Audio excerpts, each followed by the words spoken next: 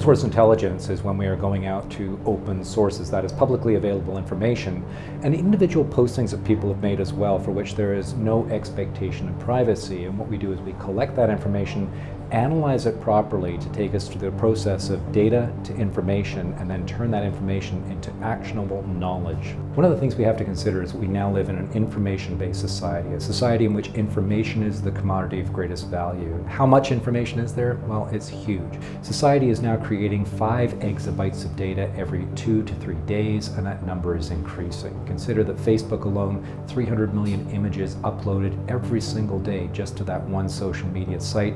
It's vast and it's very, very difficult to navigate.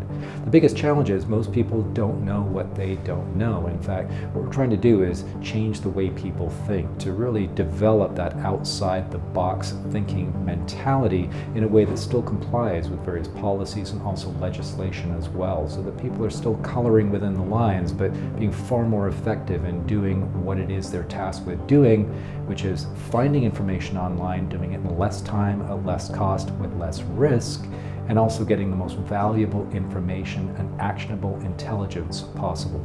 Giving back to the community is very important to us on an international scale, and to that end, there's certain key causes that we really believe in. Working to end human trafficking and human slavery, human exploitation is important, and to that end, we work with groups like Liberty Asia and also Unseen, donating our time and assisting in training their people as well. Part of what we do is we teach investigators, intelligence professionals, how to be safe, how to be able to conduct investigations in a way that's not leaving a massive digital footprint, not tipping off adversary, and also from a personal perspective, keeping themselves safe as well.